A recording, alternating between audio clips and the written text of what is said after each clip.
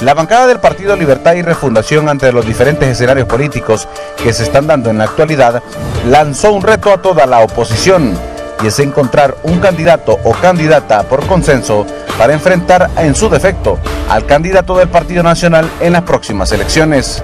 Ya la oposición yo les he, propuesto el día de ayer, tanto a Narrala como a Villeda y a Pino, a Guillermo Bay, que busquemos un candidato de unidad, un único candidato o única candidata, que la busquemos, que nos pongamos de acuerdo.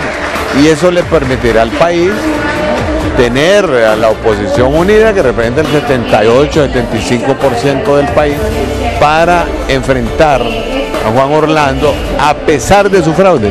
Se le puede derrotar. El día que se anuncie esa unidad, Honduras pondría fiesta en todos los lugares de Honduras, en todos los municipios, en todos los pueblos. Entre tanto, los congresistas aprobaron anoche la creación de la Unidad Técnica de Investigación contra la Muerte Violenta de Mujeres en el país, misma que estará adscrita a la Agencia Técnica de Investigación Criminal. Se crea la unidad de investigación de femicidios al interior de la ATIC, de la Agencia Técnica de Investigación Criminal. Segundo, se crea una comisión interinstitucional que le dé seguimiento a la investigación de las muertes de mujeres.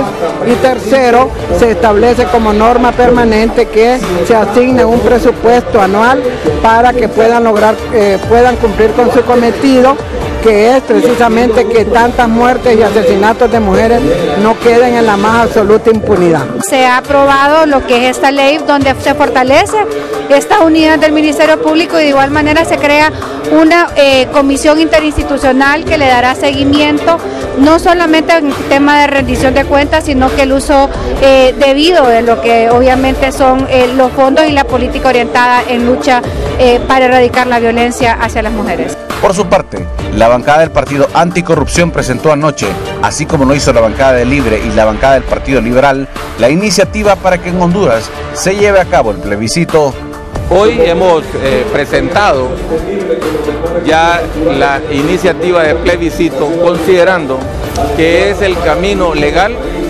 correcto, jurídico, por el cual la población en general tiene que pronunciarse sobre el tema reelección presidencial. Nosotros somos respetuosos de la Constitución de la República y las leyes, nuestros principios así nos lo ordenan y en ese sentido reconocemos que en la misma Constitución de la República hay artículos irreformables que solo pueden ser modificados a través de una Asamblea Nacional Constituyente. Pero previo a tomar esa decisión corresponde que soberano, que es el pueblo, se manifieste si está o no de acuerdo con el tema de reelección presidencial.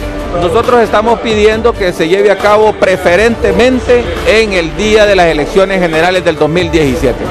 Con imágenes de José Avilés para HCH Noticias, Denis Andino. Resumen legislativo.